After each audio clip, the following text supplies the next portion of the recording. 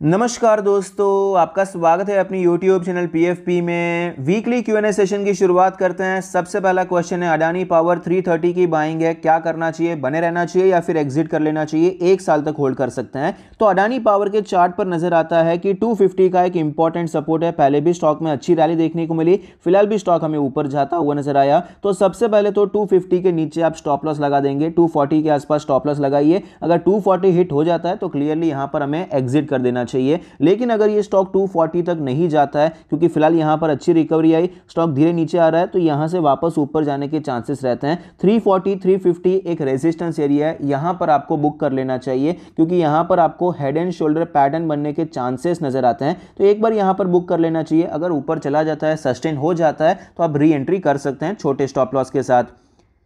Bajaj finance 111 quantity है 6980 के price पे। बहुत ज़्यादा लॉस हो रहा है, क्या करना चाहिए, यहाँ पर क्या प्रॉफिट में एग्जिट करने को मिल सकता है, करना क्या चाहिए? तो बजाज फाइनेंस के स्टॉक में आप देख सकते हैं, फ़िलहाल गिरावट तो अच्छी खासी देखने को मिली है। यहाँ पर जिस हिसाब से प्राइस एक्शन बनाकर नीचे आया स्लोली नीचे आ रहा था तो मैंने एक्सपेक्ट किया था यहाँ पर अगर मौका मिलता है तो हम यहाँ पर खरीदारी कर सकते हैं। हमने डिस्कस भी किया था, लेकिन ये हाई क्रॉस होता हुआ नज़र ही नहीं आया और स्टॉक में शार्प सेल ऑफ़ देखने को मिला है। अभी स्टॉक के लिए साढ़े पाँच हज़ार का लेवल एक इंपॉर्टेंट सपोर्ट की तरह नज़र आता है। यहाँ से आपको रिकवरी देखने को मिलनी चाहिए। स्टॉक बहुत ज़्यादा वीक हो गया, ऐसा नहीं है। कंपनी का जो वैल्यूएशन है, वो थोड़ा सा हायर साइड पे नज़र आता है तो स्टॉक में आपको गिरावट देखने को मिली है। तो आपको यहाँ पर लॉस में तो एग्जिट नहीं करना चाहिए। फंडामेंटली अच्छी कंपनी है लॉन्ग टर्म के लिए आप होल्ड कर सकते हैं। वीबीएल क्या अच्छा स्टॉक है लॉन्ग टर्म के लिए. एज अ कंपनी वीबीएल का काम अच्छा है, उसमें कोई डाउट नहीं है. लेकिन रैली आपको पता है, बहुत अच्छी देखने को मिली तो स्टॉक का वैल्यूएशन थोड़ा सा बढ़ गया है. Best buying level VBL Titan Fine Organics का क्या होना चाहिए और डिमांड के रिजल्ट्स के बाद हमें क्या करना चाहिए?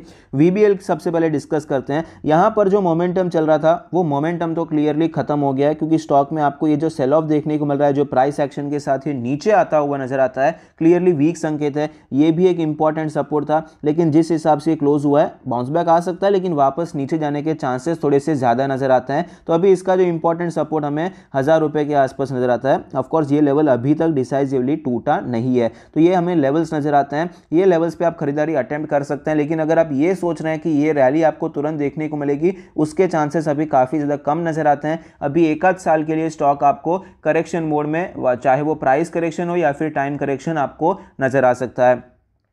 टाइटन के बारे में बात करें टाइटन हायर लेवल पे सस्टेन करके ब्रेकआउट की जगह पे नीचे आता हुआ नज़र आता है। ये इंपॉर्टेंट लेवल अभी टूट चुका है तो ये स्टॉक आपको 20 टू 50 तक आता हुआ नज़र आ सकता है, जहाँ पर हम खरीदारी कर सकते हैं। फाइन ऑर्गेनिक के बारे में बात करें तो यहाँ पर एक छोटे स्टॉप लॉस के साथ खरीदारी करने की अपॉर्चुनिटी है। स्टॉक में गिरावट हुई स्टॉक देखिए यहाँ पर आपको नीचे आता हुआ नज़र आता है, लेकिन फ़िलहाल स्टॉक वापस ऊपर जाने की कोशिश कर रहा है। तो अगर ये फिफ्टी एट का जोन तोड़ देता है तो स्टॉक में आप थोड़ा एंटर कर सकते हैं, क्योंकि यहाँ पर ये आपको प्राइस एक्शन भी देखने को मिलेगा ट्रेंड लाइन का जो लेवल है वो भी टूटता हुआ नज़र आएगा। तो 6000 के ऊपर जाता है तो एक खरीदारी अटेम्प्ट आप कर सकते हैं। डिमांड के बारे में बात करें तो डिमांड फ़िलहाल एक रेंज में ट्रेड कर रहा है। जब तक इस रेंज को ये तोड़ नहीं देता है, हमें कुछ नहीं करना है। अगर ये लोअर साइड पे रेंज तोड़ देता है तो ये स्टॉक आपको थर्टी की तरफ़ आता हुआ नज़र आ सकता है, जो कि एक अच्छा लेवल है जहाँ पर आप खरीदारी अटेम्प्ट कर सकते हैं। फोर्टी टू फिफ्टी के ऊपर जाता है तो यहाँ पर भी क्लियरली ब्रेकआउट ट्रेडिंग कर सकते हैं। आईआरबी में और हाईरेट में क्या करना चाहिए? तो आईआरबी एक फ़िलहाल अच्छे लेवल पे ट्रेड कर रहा है हायर लेवल पे सस्टेन भी कर रहा है। पहले भी हायर लेवल पे बहुत सस्टेन किया, लेकिन ब्रेकआउट हुआ ही नहीं। स्टॉक वापस नीचे आ गया। अभी वापस रिकवरी आई है ऑल टाइम हाई टच किया, लेकिन गिरावट हो गई। स्टॉक वापस ऊपर जा रहा है। तो अगर यहाँ पर कोई स्ट्रॉन्ग मंथली क्लोज मिल जाता है तो यहाँ पर हायर लेवल पर आपको और भी ज़्यादा बाइंग होती हुई नज़र आ सकती है। स्टॉक आपको यहाँ पर ईजिली पाँच सौ तक भी जाता हुआ नज़र आ सकता है, क्योंकि एक लॉन्ग टर्म चार्ट का ब्रेकआउट यहाँ पर होता हुआ नज़र आ सकता है। हाईरेक के बारे में बात करें तो यहाँ पर भी सिमिलर सिचुएशन है। आपको 250 के लेवल से गिरावट देखने को मिली, फिर से यहीं से गिरावट देखने को मिली, लेकिन सपोर्ट देखिए ऊपर शिफ्ट हो रहे हैं। तो अगर यहाँ पर हायर लेवल पे एक अच्छी क्लोज हो जाती है तो स्टॉक यहाँ पर भी आपको डबल होता हुआ नज़र आ सकता है। निपॉन आईटी ईटीएफ में आपने 30 के आसपास बाइंग किया क्या वापस ऊपर जा सकता है। मतलब बेसिकली क्या ऑल टाइम हाई हिट कर सकता है। तो फ़िलहाल यहाँ पर आईटी इंडेक्स आपके सामने है। यहाँ पर देखिए एक अच्छे लेवल से आपको ये वापस रिटेस्ट करता हुआ नज़र आता है। तो अगर ये लेवल वापस टूट जाता है तो क्लियरली ये अच्छा रहेगा। स्टॉक आपको मतलब आपको ये इंडेक्स थर्टी की तरफ़ बढ़ता हुआ नज़र आ सकता है। फ़िलहाल के लिए तो ये लेवल्स हमें नज़र आते हैं। S B I card Jubilant Food Whirlpool में क्या करना चाहिए? क्या H D F C life को बेच देना चाहिए और बजाज ट्विंस में शिफ्ट हो जाना चाहिए? आप एक लॉन्ग टर्म के इन्वेस्टर हैं, दस साल से ज़्यादा के लिए निवेश करना चाहते हैं। तो सबसे पहले यहाँ पर SBI कार्ड के बारे में बात करते हैं। SBI कार्ड में आप देख पाएँगे यहाँ पर अच्छी सिचुएशन बन रही थी। स्टॉक कंटिन्यूसली नीचे आया। ये वीक सिचुएशन थी। यहाँ पर स्टॉक ने ब्रेकआउट किया। यहाँ पर सस्टेन करके ऊपर जाना चाहिए था, लेकिन नहीं हुआ। स्टॉक नीचे आता हुआ नज़र आया। तो अभी जब तक ये स्टॉक नौ के नीचे ट्रेड कर रहा है, तब तक के लिए कुछ नहीं करना है। वर्लपुल के बारे में बात करें तो वर्लपुल का मंथली चार्ट आपके सामने है। क्रैश लेवल पे आ चुका है। यहाँ पर क्लियरली कुछ ज़्यादा ही वीकनेस देखने को मिल रही है। अगर ये 1250 का जोन भी तोड़ देता है तो स्टॉक और भी ज़्यादा नीचे आ सकता है। तो ये सेल ऑन राइज वाला स्टॉक है उसमें कोई डाउट नहीं है। जुबिलेंट फ़ूड के बारे में बात करें तो यहाँ पर भी वीकनेस कुछ ज़्यादा ही देखने को मिल रही है। 500 के आसपास एक सपोर्ट है। अभी थोड़ा बहुत सपोर्ट एक्सपेक्ट कर सकते हैं क्योंकि कंटिन्यूसली नीचे आ रहा है। थोड़ा बहुत एक दो हफ़्ते आपको ये कॉन्सोलिडेट करता हुआ नज़र आ सकता है, लेकिन कोई स्ट्रॉन्ग बाइंग फ़िलहाल सजेस्टेड नहीं है। यहाँ पर ट्रेंड लाइन ब्रेकआउट भी हुआ, लेकिन स्टॉक ज़्यादा ऊपर नहीं जा पाया। यहाँ पर ये जो रेजिस्टेंस था, वो भी टूटता हुआ नज़र आया, लेकिन स्टॉक वापस नीचे आ गया। तो अभी ये आपको टाइम करेक्शन में जाता हुआ नज़र आ सकता है।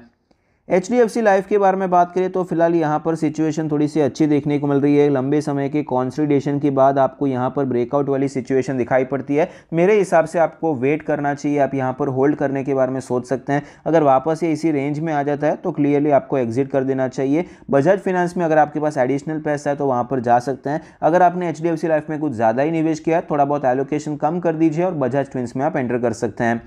ऑप्शन बाय और सेल ट्रेडिंग सीखने का शुरुआत कहाँ से करना चाहिए? एग्ज़ाम्पल है स्ट्राइक प्राइस कैसे डिसाइड करें, कहाँ बाय करें या सेल करें? तो देखिए ऑप्शन बाइंग में प्रेफर ये करना चाहिए कि आप एट द मनी के आसपास रहते हैं या फिर नियर द मनी रहना चाहिए। अगर निफ्टी फिफ्टी चल रहा है अठारह हज़ार तो अठारह हज़ार का कॉल या पुट उसी में आपको काम करना चाहिए। या फिर सत्रह हज़ार नौ सौ का पुट या अठारह हज़ार एक सौ का कॉल उससे ज़्यादा दूर आपको काम नहीं करना चाहिए शुरुआत के स्टेज में। बाकी बड़ा पैसा तो ऑफकोर्स ऑप्शन बाइंग में भी बहुत दूर के कॉल जब हम खरीदते हैं और मार्केट आपको एक दो परसेंट मूव करता हुआ नज़र आए तो वहाँ पर अच्छा पैसा बनता है। लेकिन शुरुआती स्टेज में आप एटीएम से शुरू कर सकते हैं मतलब एट द मनी के। और सेलिंग के बारे में बात करें तो वहाँ पर भी बड़ा पैसा यहाँ पर नज़दीक में बनता है एट द मनी में बनता है, क्योंकि प्रीमियम वहाँ पर ज़्यादा है। लेकिन शुरुआत में आप दूर के स्ट्राइक प्राइस सेल करके शुरू कर सकते हैं, वहाँ पर रिस्क थोड़ा सा कम रहता है। हालाँकि ऑफकोर्स बहुत बड़ा मूव हो गया जल्दी तो वहाँ पर लॉस भी आपको जल्दी देखने को मिलता है। तो यहाँ पर आप हेज पोजीशन बनाकर रख सकते हैं, लेकिन शुरुआत में ऑप्शन बाइंग में नज़दीक रहना है और ऑप्शन सेलिंग में दूर रहना है।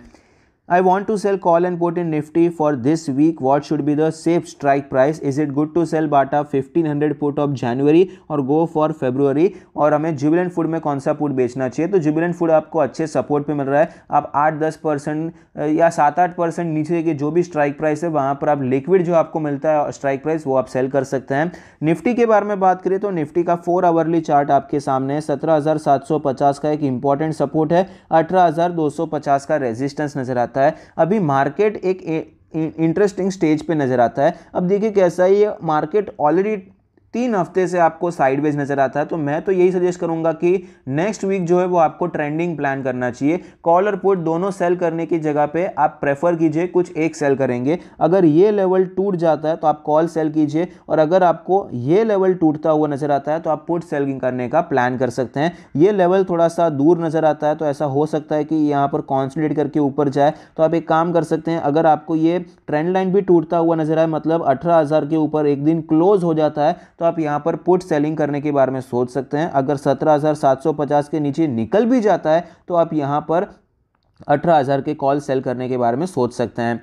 बाटा इंडिया के बारे में बात करें तो फ़िलहाल मैं पुट सेल करना सजेस्ट नहीं करूँगा। स्टॉक कुछ ज़्यादा ही वीक हो चुका है। यहाँ पर तीन हफ़्ते कॉन्सोलिडेट करने के बाद ये ब्रेकडाउन देखने को मिला है तो 1500 तो इजीली आ सकता है। अभी कॉल सेलिंग करना ज़्यादा प्रेफर करना चाहिए। अगर ये 1500 आ जाता है या 1450 आ जाता है उसके बाद अगर आप पुट सेल करते हैं तो वो ज़्यादा प्रेफरेबल रहेगा।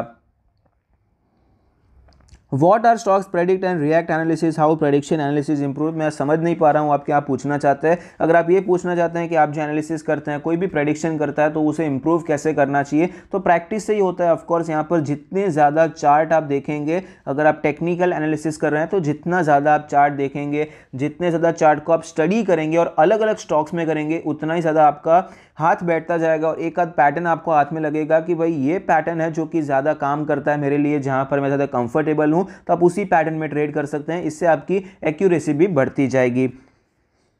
ई e के बारे में सवाल है, बहुत अच्छे सवाल है। लास्ट टाइम भी इन्होंने पूछा था, लेकिन वीडियो ऑलरेडी बन चुका था तो मैंने इनसे रिक्वेस्ट किया था कि आप ये नेक्स्ट टाइम पूछिए next Q and A session में पूछिए, जिससे दूसरे लोग भी देख पाए। तो यहाँ पर जो सबसे पहला क्वेश्चन है कि टैक्स सेविंग जो ई e हैं, वो ज़्यादा रिटर्न दे रहे हैं दूसरे कैटेगरी के म्यूचुअल फंड से पर ईयर और उनके फंड मैनेजर भी ज़्यादा प्रोफेशनल नज़र आते हैं। तो क्या सिर्फ़ हमें टैक्स सेवर ELSS में ही इन्वेस्ट करना चाहिए, या फिर दूसरे कैटेगरी में भी करना चाहिए? क्या इसके कोई डी मेरिट है? तो देखिए, आपने जो कहा ईएलएसएस अच्छे रिटर्न देते हैं क्लियरली अच्छे रिटर्न देते हैं, क्योंकि यहाँ पर जनरली ब्लू चिप ही रहते हैं। बहुत ज़्यादा रिस्की स्टॉक्स यहाँ पर ईएलएसएस में नहीं लिए जाते हैं। इसीलिए आपको यहाँ पर रिटर्न भी अच्छे देखने को मिलते हैं। लेकिन डी मेरिट क्या है? डी मेरिट बस यही है कि अगर आप ब्लू चिप में ले रहे हैं तो मतलब स्मॉल कैप और मिड कैप का आपका एक्सपोजर नहीं रहेगा। जो रिस्की है, वहाँ पर रिटर्न भी तो ज़्यादा रहते हैं। तो आपको बहुत ज़्यादा एक्स्ट्रा ऑर्डिनरी ट्वेंटी के ऊपर के रिटर्न मिलेंगे ट्वेंटी के सी वाले भी म्यूचुअल फंड्स रहते हैं, वहाँ पर रिस्क भी उतना ही ज़्यादा रहता है मार्केट जब गिरता है तो उनका ड्रॉडाउन भी उतना ही ज़्यादा रहता है।